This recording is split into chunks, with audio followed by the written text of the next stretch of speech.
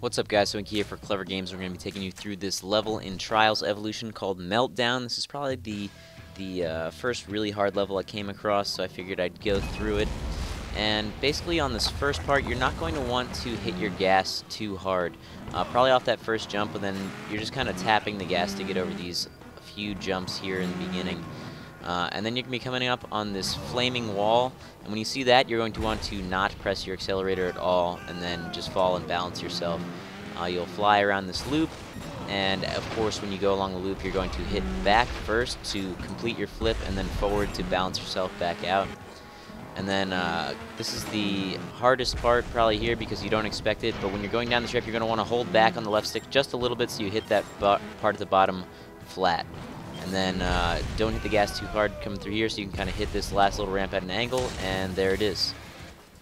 That is how you beat Meltdown. So, hope you guys found this video helpful.